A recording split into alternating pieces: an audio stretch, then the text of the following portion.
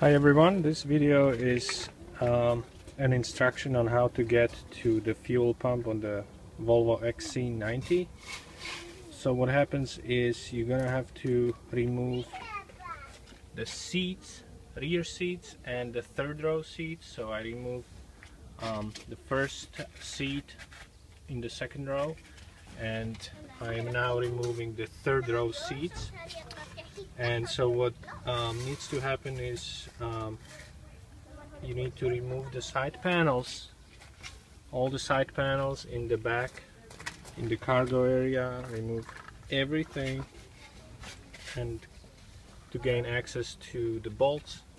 Once you do that you will remove bolts from uh, down here down there. In the back remove this little um, strip that goes here I also what I did was I removed this strip that goes in the rear thing. I disconnected the battery um, and lifted this whole um, rear seat as a one unit. Just lifted that supported with some screw gun here. And these cables are routed over it over the rear seat assembly the third row seat assembly. So what you need to do is route them under before you can remove the rear seat assembly. And now that this is done I am basically I've loosened up the third row seat assembly and I'm ready to just basically flip it sideways and pull it out so I can roll the carpet back and gain access to the fuel pump. Okay, after removing the third row seats, there is a little um, rolling back the carpets. Um, there is a hose, a ventilation hose that looks like needs to be removed. So what I did was simply lift this piece, take this off, pull this, roll this back, pull this out like this, and slide it out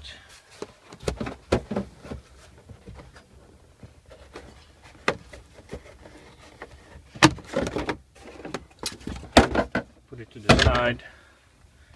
And you're ready to roll back this carpet.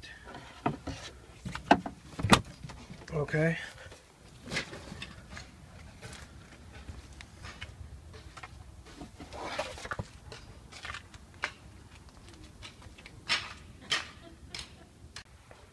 Okay you can move this piece of carpet back which will um, expose down under the access to the fuel pump.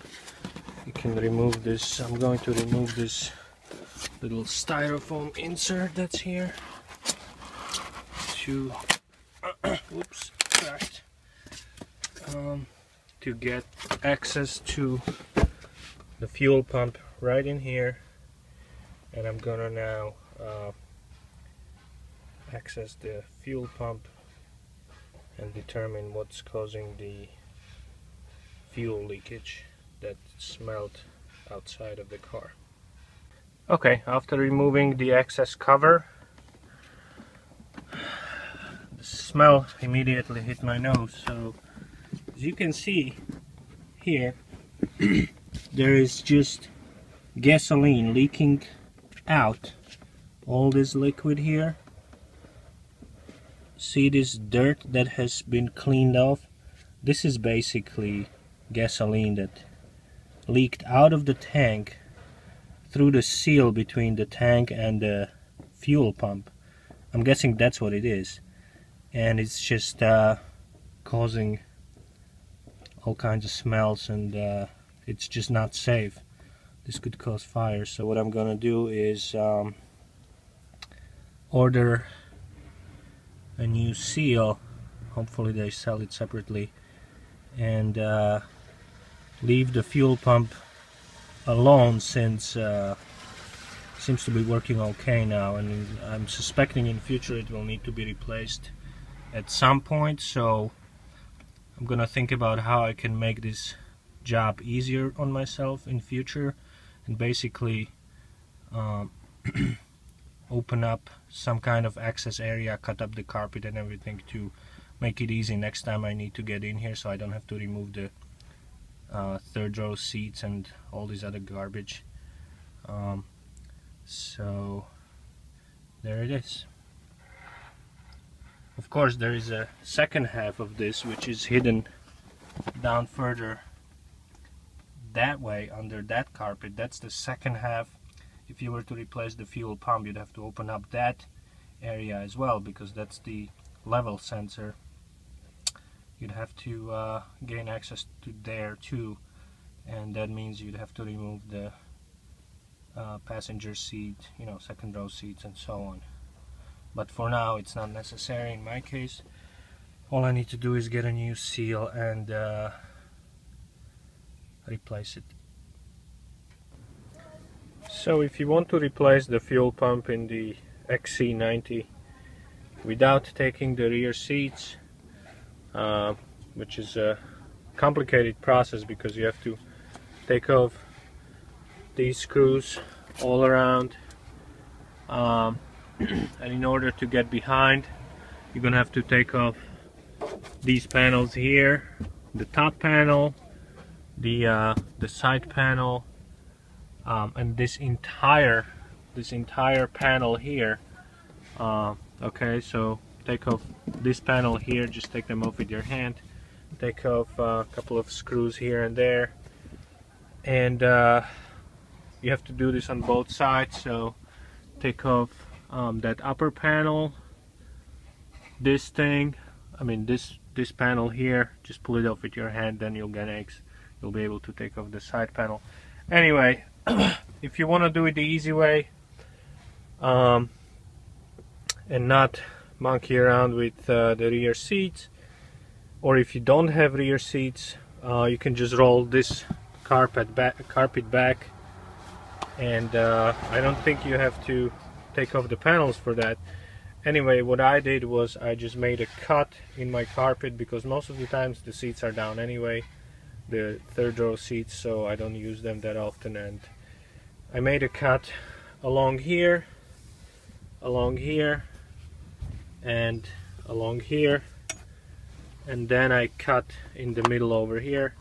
So once you put the carpet back it's not that visible. Anyway you can roll the carpet back and uh, gain access to the fuel uh, pump uh, access door which is right over here now the other half of the fuel uh, when you're replacing the fuel pump what you need to do is open up the access door on the driver's side which um, what I have done is again I cut the carpet along here um, along here and then uh, along here. You pull the carpet back like this and uh, the carpet is actually split right underneath the seat. So after you remove the um, second row seat you just roll you know pull this carpet back like this and uh, take off the styrofoam.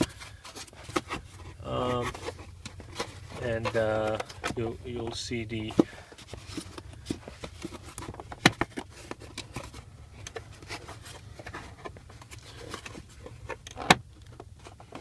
you'll see the access door okay so this styrofoam comes out and there's the access to the um, second half of the fuel tank where uh, there is a secondary fuel level sender and the, and a little hose that that connect. Now, um, in order uh, once you take this off, there is a little um, ring that screws on top. So what I have done is there there is a tool that you can get for like forty dollars. What I have done is I took uh, I went to Home Depot and I purchased this uh, connection like this and I cut notches in it there is 18 notches so you just have to split it equally uh, and cut larger notches so you have little wiggle room uh, and uh, you just slide this over the ring and you can see there is like a um, seat rest bar that that is in the way. So what I have done is I actually made a made a cut like this so I could fit it underneath like that. And uh, just put a little screwdriver across and uh, use a crowbar as a lever to unscrew this um, it's on really tight so you have to fight with it a little bit but uh, uh, when you so that's the hard part I guess. When you put it back you just make sure you use some uh, you know Vaseline and stuff like that in the threads to um, when you screw it back on it's not that as difficult as when it first comes out. And uh, yeah so I'm ready to put everything back. And uh, I've replaced my fuel pump already. Um, so I'm hoping uh, there will be no more issues with it. I used to have a nasty gas leak. The pump was malfunctioning and the gas was coming from the top of it so it was quite annoying to smell the gas and it would have failed eventually anyway so I just replaced it. And uh, hoping uh, it worked out well. So in a few days if there are no more problems I'm just gonna put the passenger seats back in and uh, call it a day. Alright um, thank you.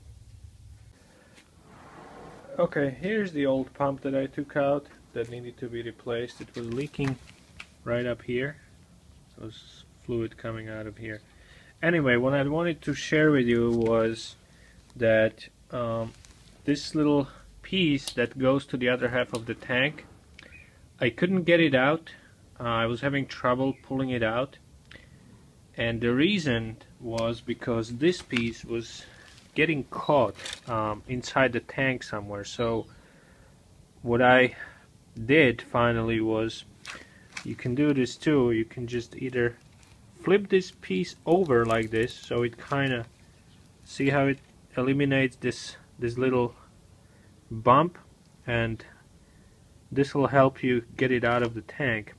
Otherwise what you can do is just tape some type of you know filler here so it's nice and smooth. So so when it's inside the tank and you're trying to pull it pull it out or stick it back in pull it in with a wire um, it's not gonna get caught. And uh, that's really that's really the one of the complications that I had but I was able to resolve it anyway.